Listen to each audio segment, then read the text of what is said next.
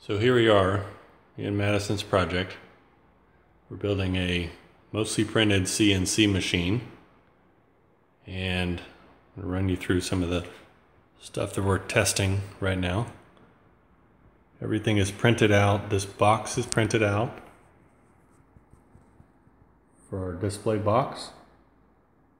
Um, then we have our computer control box here that has a hinge lid with an Arduino Mega and a Ramps 1.4 shield on top with the drivers to drive these stepper motors here. Got two for the two for the x-axis and two for the y-axis. And then that's our z-axis that's going to be standing straight up to run the router the uh, router up and down in the z vertical axis.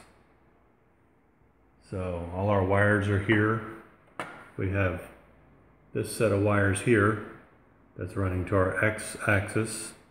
We have this set of wires here, it's running to our y axis, and this set of wires here that's running to our z axis. And we have our power supply coming in here. And then we have these two ribbon cables here that run to our uh, box here, our control box, our LCD screen. And we're going to test them out. So Madison's going to test them out for me. So Madison, let's go to the x-axis to move the x-axis. Go down to prepare. Scroll all the way down.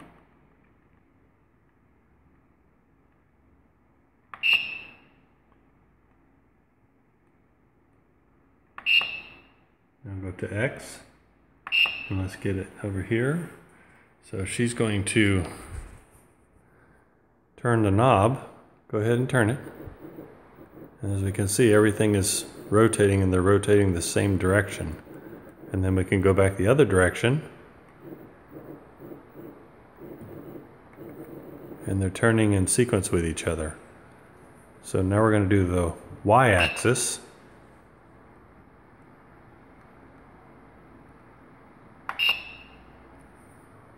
Now as we can see the y-axis motors, when we turn that, they're turning sequentially together in the same direction and then we can go back the other direction.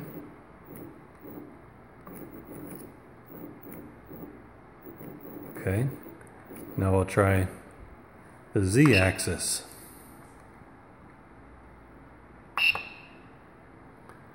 Now we'll look at the z-axis and this is going to turn that threaded rod up and down. As you can see, it's working. This threaded rod gets inserted in the bottom here. And that coupler nut that's on here, right here, is what stays stationary when this is turning. So the tool goes up and down as the motor's turning. So, pretty cool. What do you think about the machine, Madison? I like it. You like it? Is it a fun build? Yes. Yes?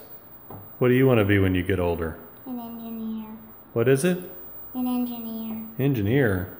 Well, you're on the right track. Okay, well, thanks for watching.